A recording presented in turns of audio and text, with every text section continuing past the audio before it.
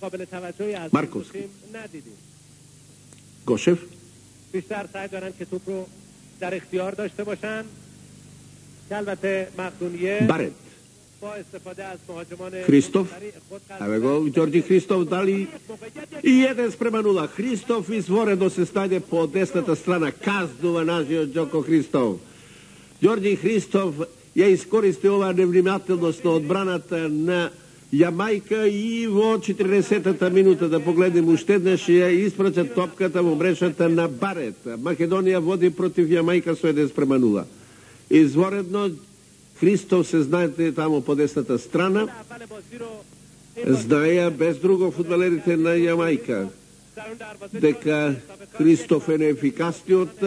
Еве го неговиот седми гол во дресот на нашата репрезентација. Христоф од тежок кагол крај искусти од барет ја свестува топката во мрежата на Јамајка. Македонија води против Јамајка во 15-та минута со 1 спрема 0. Гарднер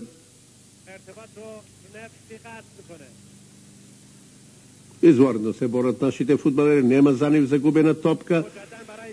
Треневски изворедно, Христов, сам против Конку, двајца, тројца, Христов, Изворедно. Христов.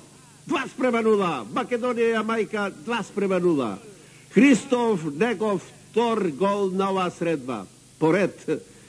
Христов, пети, шести, седми, кој бе, осми. Христов, осми гол во државниот дрес. Водиме со два спрема нула. Последни моменти од првото полувреме, Македонија и Јамајка 2 спрема 0. 45-та минута Христоф уште еднаш 2 спрема 0.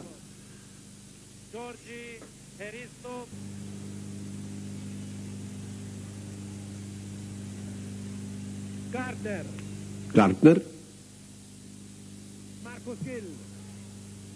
Је могајат хуб. Сима ва тежариме. Ма еламе пеналти. Да видиме дали е тоа пенал. Дали судијата покаже на белата точка, да, се радуваат резервните фудбалери.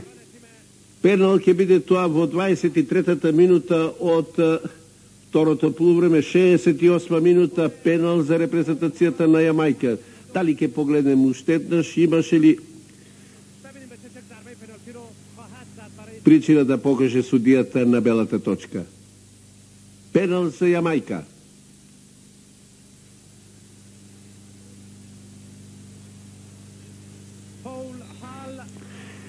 Хал ке го изведе ударот. Два спрема еден. Хал во 68-та намалува на два спрема еден. Хал во 68-та минута од пенал намалува на два спрема еден. Имаше прекрешок, меѓутоа добро ќе биде ако